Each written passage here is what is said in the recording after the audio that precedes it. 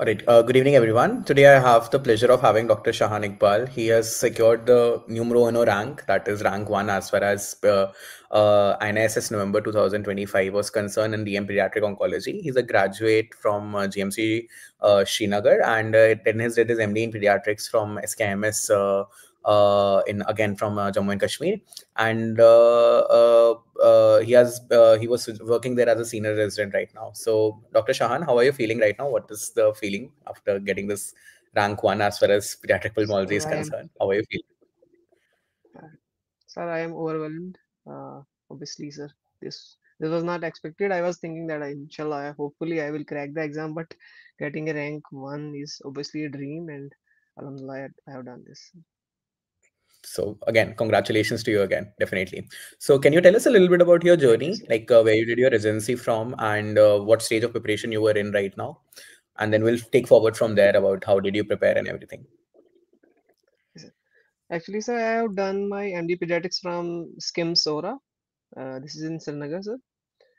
Uh, i joined this uh, md pediatrics in 2020 sir. Actually i am uh, mbbs batch my mbbs batch was 2013 sir after doing my C, uh, this post graduation, uh, I joined the same institute for senior residency. Presently, I am working as senior resident in this institute, and yeah, that's all, sir. That's all. So, when did you actually start preparing for this INISS or NEET for that matter? When did the actual serious preparation start, in your opinion? Sir, actually, uh, during my PG days, I uh, I studied uh, very thoroughly. Uh, I have done complete uh, Nelson. I have read in uh, my PG days only. Beside Nelson, I was very thorough with the uh, clinics as well. So I have attended each and every clinical posting. We here in SKIMS have different departments like pulmonology, like oncology. So we get exposed to those patients as well, sir. So I I stick to my uh, basic Nelson and then I continued with my clinical learning. That was all in uh, PG. I was sir very confident and very sure that I I have to go to go for higher studies, especially DM uh, someday. But uh, uh, I was not pretty sure that I will uh, give uh, this DM in this year because I had not prepared for this year, sir. Actually, uh, um, we had a, batch, outgoing batch, MD pediatrics batch, and this time, fortunately, we had with us Dr. Surjit Singh, sir uh, from PGI Chandigarh, sir. PGI Chandigarh, yeah. So hmm. yeah, I interacted with sir. Sir gave me that boost, and sir actually had we had a uh, topic of Kawasaki. So I had a talk on that uh, as hmm. well. So that encouraged me. So sir, I started preparing after that only to almost two and a half months back, sir. Okay. Uh, I would I would say that sir, I had actually uh, done good uh, residency during my PG days. I have done uh, thoroughly read Nelson during those days, and I was also good in clinics as well. And uh, on top of that, I uh, I had my guide, Dr. Javed Iqbal sir, who is a pediatric pulmonologist here. So mm-hmm. sir had kept me uh, uh, with him in his OPD. So I was uh, repeatedly exposed to the pediatric pulmonology patients. So that way I was able to do this, sir.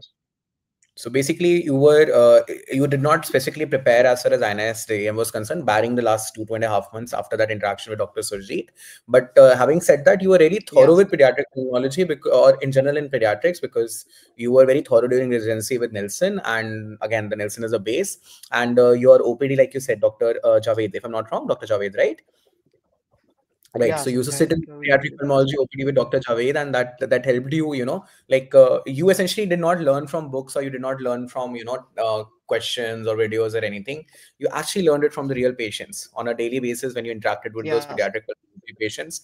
That was your actual preparation rather than uh, any, you know, any platform or any, uh, you know, book or anything. I, I think this this is a great message. I think especially as far as DM in pediatrics is concerned, unlike maybe for surgery or maybe even for to a little bit for medicine, where people uh, uh just after completing their MD, they start preparing, or you know, immediately in the first attempt or in the six months they want to crack.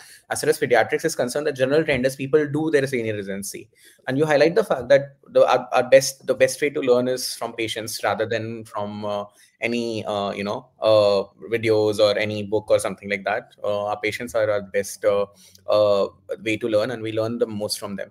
So in these last two months, how did you like you said you in these two months you specifically prepared as far as you were not expecting a rank one, obviously, and congratulations again.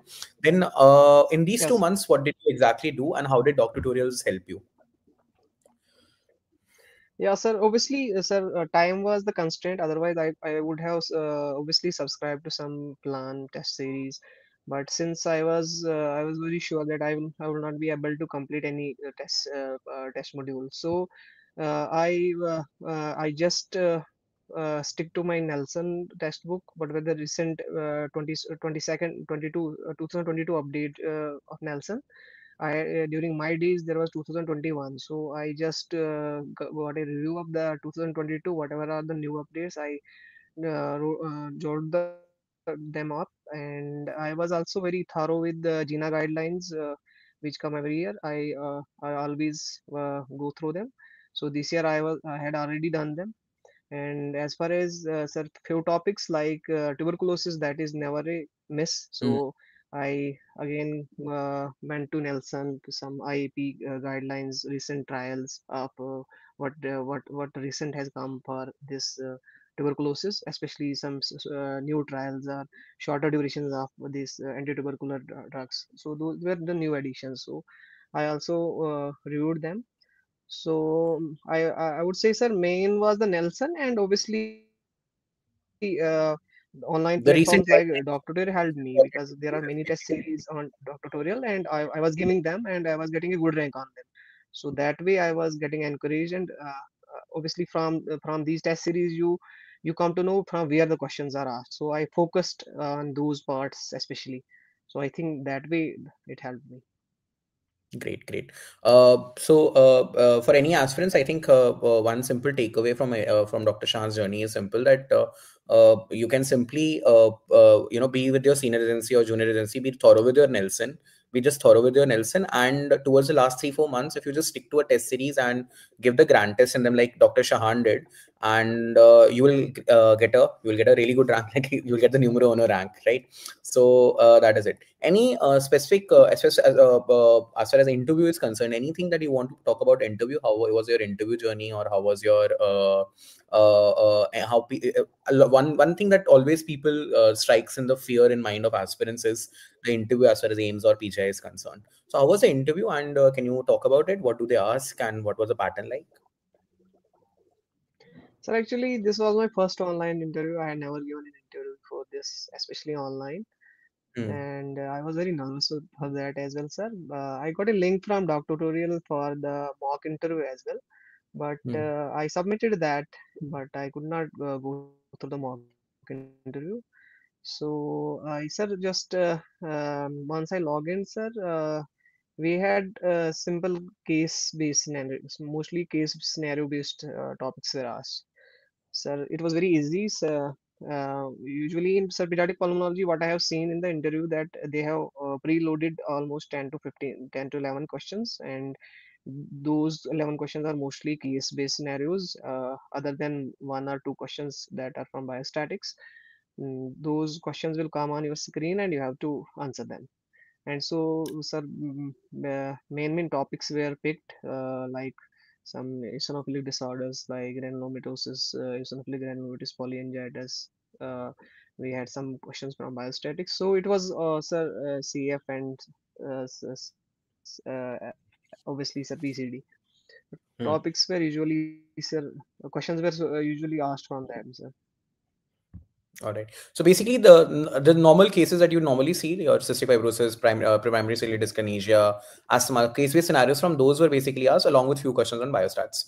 Uh, was there any questions related to general pediatrics which they asked, or they were it was not related? Any questions related to general pediatrics? Uh, sir, in uh, in in uh, in my interview, I had only one one question from biostatics. Uh, rest were all from pulmonology. Pediatric pulmonology. So it basically tells anyone who's preparing for these interviews, yes. don't be worried. They are simple case-based scenarios uh, of the normal topics of the you know pet topics of these exams, uh, which from which they will ask you, along with few questions related to biostats. Even if you are thorough with these things, uh, you shouldn't worry about interview and you will crack the interview. Right? Any final words for the aspirants that you want to say? I Any was very nervous initially. Any advice to have? I was very nervous for the in interview. Hmm. Yeah, yeah. So, sure, uh, sir. sir. actually, I I would like to share that mm, this uh, exam is not so tough. I think uh, if you are thorough with your clinics, if you have read Nelson well, and if you have any platform, uh, online platform that that's uh, going to boost you, that's going to build your structure uh, around which your vision is going to take place. So all those three things combined, I think if you are thorough with these, you can crack it. It's not tough exam. I think this is this is a very valid point. You just need three things. You just need a you just need a th- good hold of Nelson. You need a, uh, to be decent in your clinics and any re- regular test series, any good test series. If you do these three things together, you'll get a, definitely get a good rank. I think that that's the imp- most important takeaway that Dr. Shahan can give us to give us. Thank you, thank you, thanks a lot, uh, Dr. Yes. Shahan. Yes. And uh, anyone, uh, I think this is the most important takeaway that you said. These three pillars. Always remember these three pillars uh, Nelson clinics and a good test series. And uh, uh, Dr. Yes. Shahan used doctor tutorials. He used a, a, test of doctor tutorials to assess him. He got good rank. That boosted his confidence. And here he is with rank one. All right. Thank you. Thank you, sir. Thank you.